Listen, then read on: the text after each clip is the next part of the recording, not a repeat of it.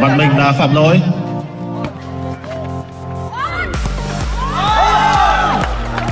Văn Long đang bị đau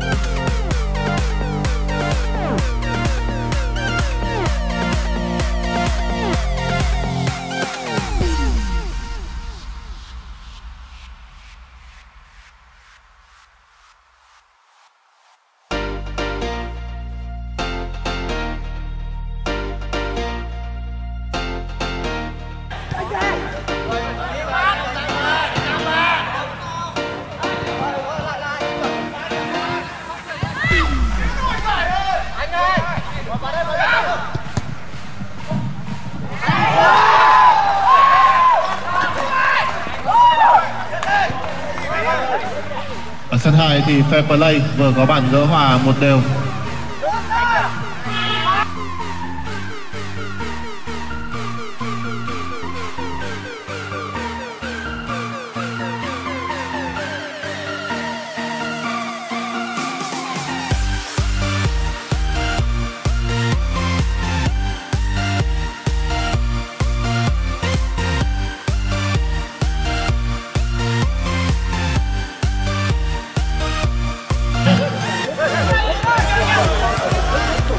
hello.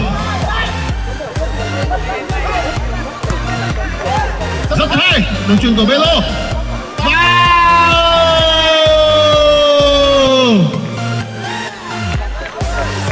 ba không cho Belo hai. Và là